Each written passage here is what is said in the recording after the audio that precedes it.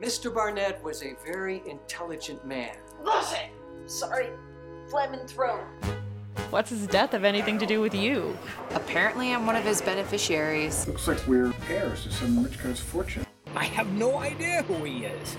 First, I buy a house, then I buy a yacht, then I buy hookers. You've all been invited here because, in one way or another, you have affected Mr. Barnett's life, and he plans to give every one of you exactly what he believes you deserve.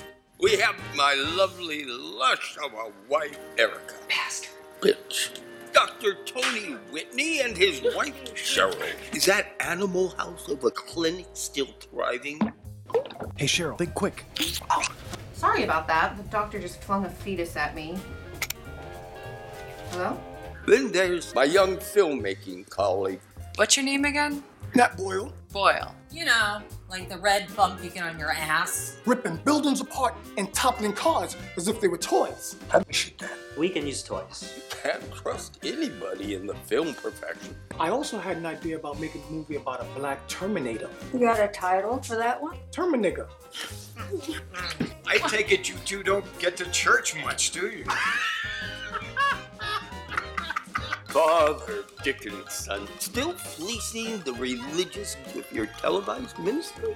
You want Jesus to work for you? Then you give him a decent wage. My son was always meticulous with details. At the end of this weekend, you will be dead.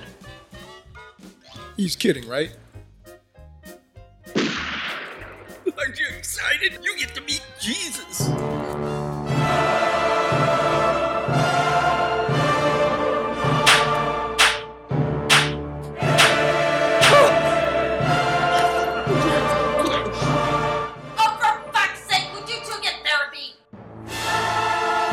Well, I've got something special in store for you. Rudy Barnett is dead, isn't he? Revenge is a dish best served cold. And you don't get much colder than me.